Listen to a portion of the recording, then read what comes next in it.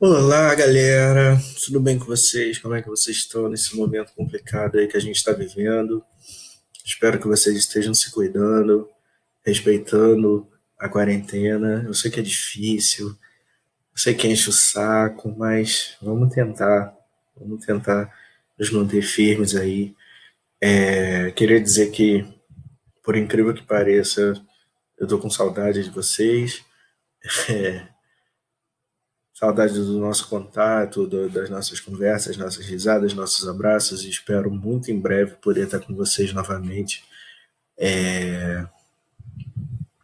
podendo sentir toda essa energia, todo esse calor que vocês transmitem. Eu espero poder aqui, é, de alguma forma, é...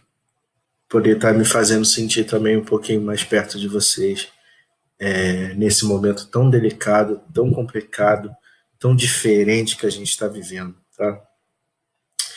É, dando continuidade ao nosso assunto, é, a gente falou sobre os modelos, tava, vinha falando sobre modelos de desenvolvimento econômico, falamos sobre capitalismo, faltava falar sobre socialismo.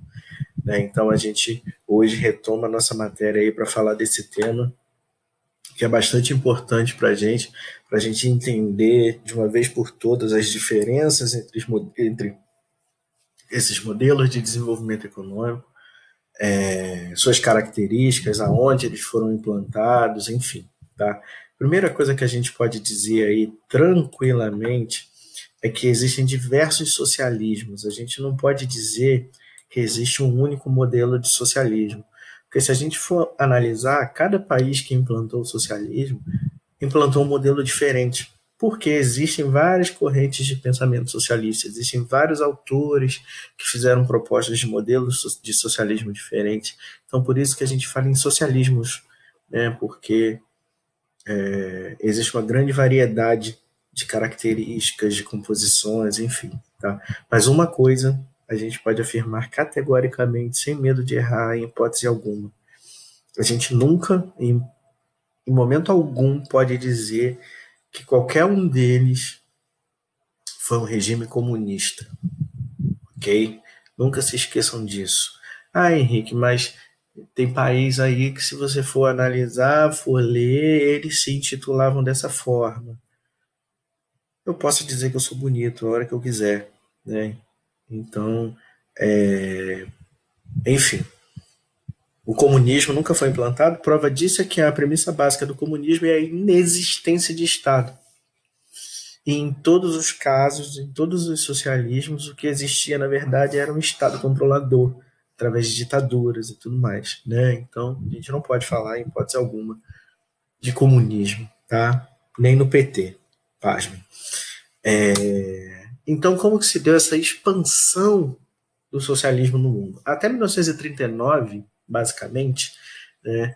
É, 39 é quando começa a Segunda Guerra Mundial, né? Só existia a União Soviética e a Mongólia como países não capitalistas, sendo a primeira experiência, né, em 1917 com a Revolução Russa, que mais tarde deu origem à União Soviética propriamente dita. No pós-guerra, os países do leste europeu se tornaram países socialistas porque, conforme a União Soviética ia avançando e libertando e aspas, bem aspas mesmo, os países do leste europeu do domínio nazista, esses países iam sendo anexados e dominados pela União Soviética.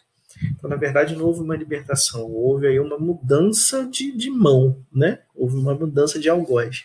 Esses países passaram agora para influência, para dominação soviética, que era inclusive acusada de monopolização de poder, né? já que em alguns casos é, a população, por exemplo, não queria fazer parte da União Soviética, não queria ser dominada pela União Soviética, mas não tinha escolha. Né? Em 49 acontece uma, a Revolução Chinesa, fruto de uma guerra civil entre dois grupos opositores, né, que eram os nacionalistas, que era a parte capitalista, a favor da influência estrangeira no país e tudo mais, e os chamados comunistas, que eram liderados por Mao Tse Tung.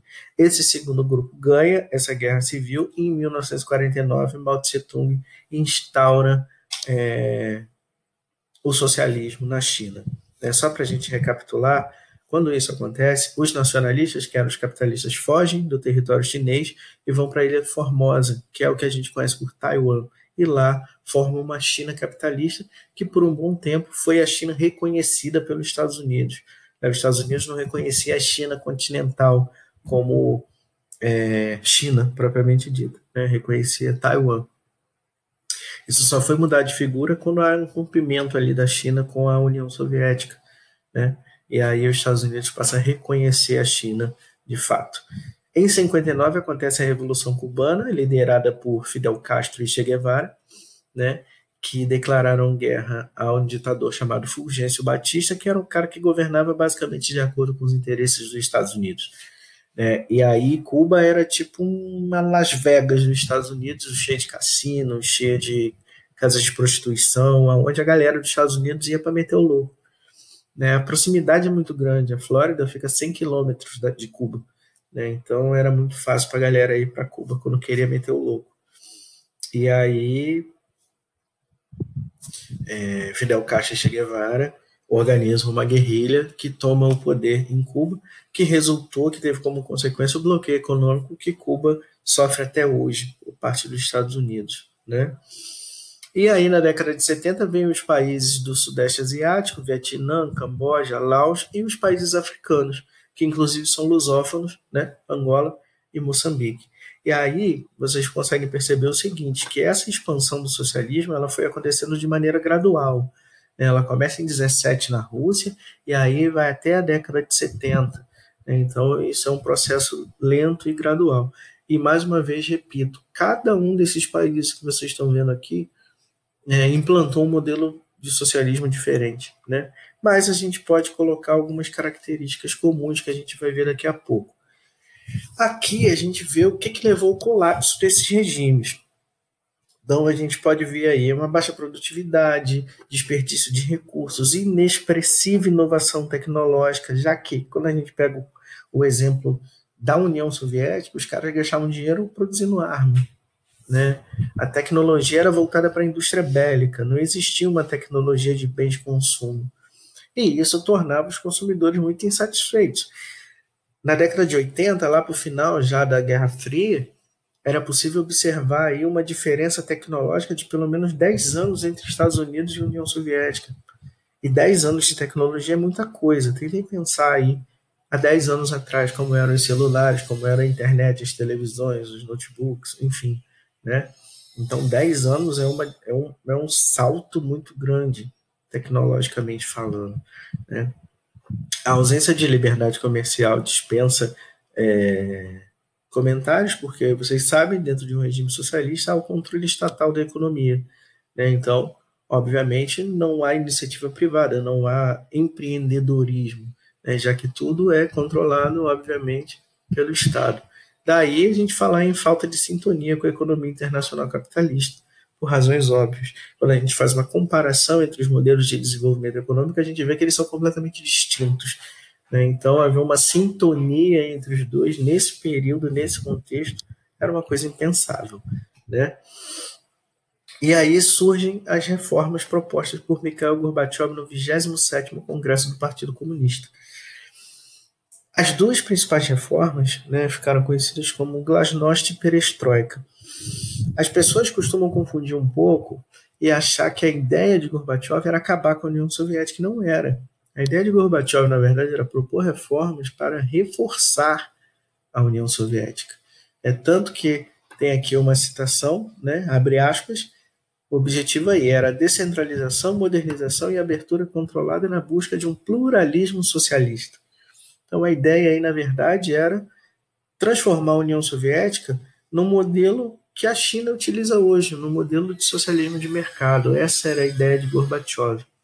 E aí surgem a glasnost e a perestroika. A glasnost está relacionada à transparência, né? porque não havia transparência nas medidas do governo soviético.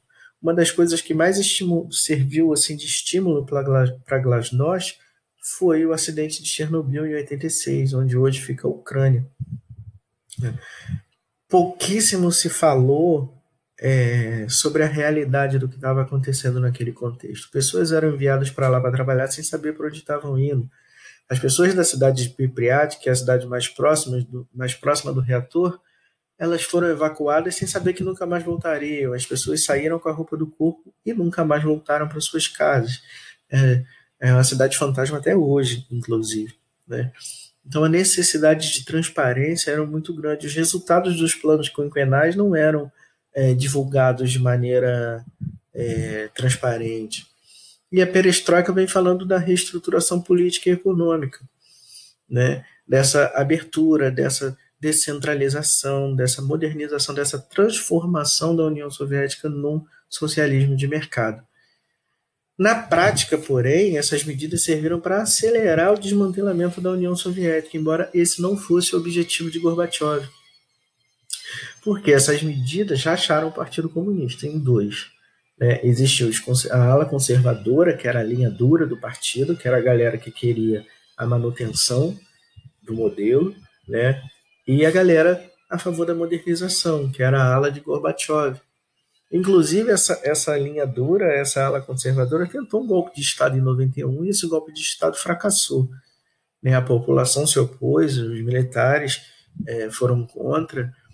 Só que aí a própria União Soviética já estava desgastada. E quem crescia muito, quem aparecia muito nesse cenário, era a figura de Boris Yeltsin, que se tornou então o presidente da Rússia depois do fim da União Soviética. Né? Então, aqui tem uma sugestãozinha de filme para vocês, né? O Adeus Lenin, um filmaço. Eu tentei achar no YouTube, eu não consegui, mas tem trailer.